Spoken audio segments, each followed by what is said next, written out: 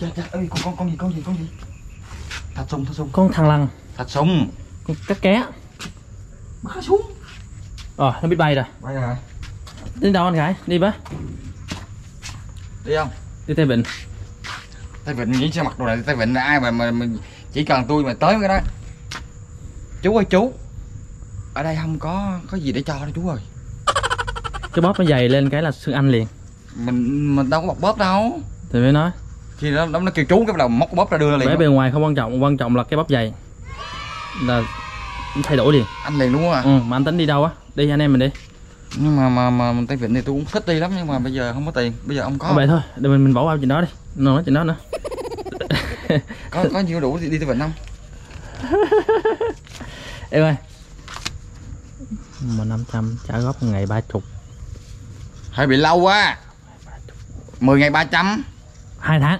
Đồng hai tháng lỗ hai tháng tính ra 10 ngày 300 mà thì lời nữa trả góp phải lời chứ. Vậy 20 ngày nó nó 20 ngày là 600 thôi lời 100 thôi. Rồi ok để tí em mấy con bé là làm mối của em trả góp. Thôi mà mà, mà tôi tôi tôi tôi giờ tôi đi mua đồ tí rồi về rồi đi chị tắm rửa đi. Ý là mua đồ gì á? Mua bắt cái cái cái, cái, cái khóa nó, nó bị bị bị cứng á, dặn không nổi á. Vậy đó phải, không phải dặn không nổi dặn phải dùng lực nó bị cứng giống như là ba cái khóa lâu ngày anh không đụng tới đúng không? Đúng rồi nó giờ cứng anh đụng tới là cứng ngắc đúng không? Đó. Dặn, dặn cực lắm. Đúng Nói rồi. vẫn còn xài được nhưng mà có cái mình dặn nó cực vất vả. Đôi khi anh không dám gặn luôn anh vặn sợ nó bể. Gì vậy? Tôi tưởng ma giờ này.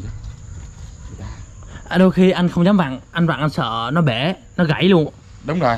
Bây giờ nha cách đơn giản thôi. Làm nhanh đi anh em mình đi tây vịnh. Anh vô anh bắt em rồi nước sôi đi rồi anh em mình ra hiện trường anh em mình quyết định ok. Rồi ok. Ra đây tôi sẽ cho mọi người xem. Nếu ờ, mấy anh em gặp cái trường hợp như thế này thì hãy áp dụng thử. Mình chế cái cỏ chết người ta. Chết nước sôi. Héo luôn cây cỏ luôn. Đó, héo luôn nè. Hồi chết rồi. rồi ok. À, cách xử lý khi van khóa bị kẹt cứng lâu ngày. Đơn giản. Đây. À, tránh ra mấy con kiến tránh ra nha tránh ra nha ừ. này hả đó rồi nghe cạch cạch cạch cạch luôn nè. Nó bị cứng rồi nè đó. Đó. Đó ông ghê chưa ghê bị chưa? cứng đó. Đó muốn mở rồi ông dặn cái lại nè. Đó. Đây là cái trường hợp hay gặp những cái van như thế này nè. Mọi người mở thường xuyên thì không sao nhưng mà mọi người để lâu ngày á là nó sẽ bị mục nó bị cứng bị ken cho nên nó sẽ khó mở ra. Vậy làm sao chúng ta mở ra cách đơn giản nhất? Thì đơn giản thôi anh sẽ chế nước sôi vô. Anh chế nước sôi vô đây nè. Nó hư sao? Sao hư được rồi nó hư rồi tính sao? Không có hư nổi đâu. Tôi nói thí dụ lỡ nó hư rồi ông tính sao? Hư dù gì anh cũng được mua cái mới mà.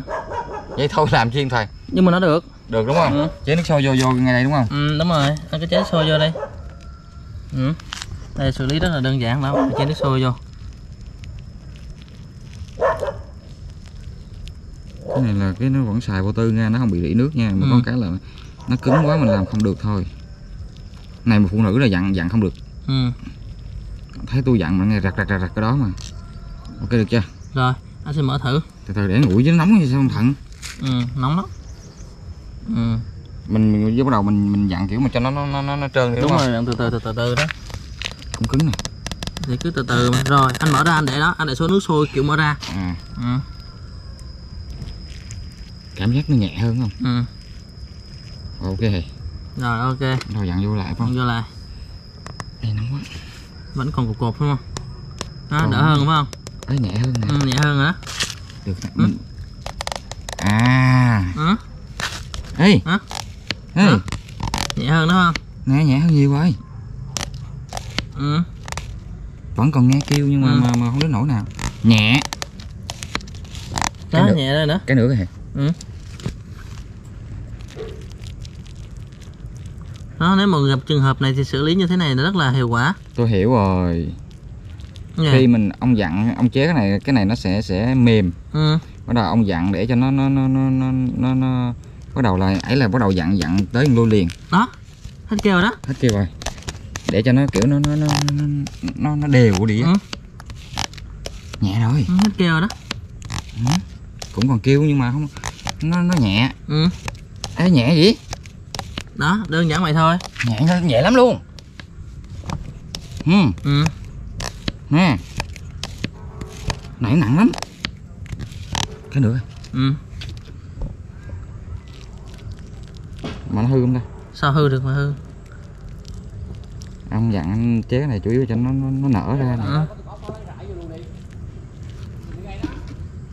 đó. Ồ, nhẹ hiều luôn. Đó. Đơn giản vậy thôi. Ừ. đây là cách xử lý khi van khóa lâu ngày nó bị kẹt cứng. Cứ ờ, dặn ờ, liên tục vậy khi nào mà nó nó nguội thôi đúng không? Đúng rồi. Nó nó nó vô cái cỡ nó chứ ông ông để mà đầu đứng nó dính luôn gì? Ừ. ồ nhẹ hiều luôn á. Ừ, dặn cho nó độ nóng á.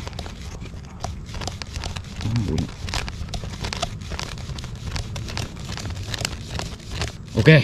Rồi đơn giản thôi. Đó em chia sẻ cho anh. Cách đơn giản nếu ai gặp trường hợp này có thể áp dụng thử cái này xem sao nó cũng Ừ. giúp cho mọi người một phần nào đó. Đâu? Dễ mở hơn. Ông biết cái này bao nhiêu tiền không? Gì?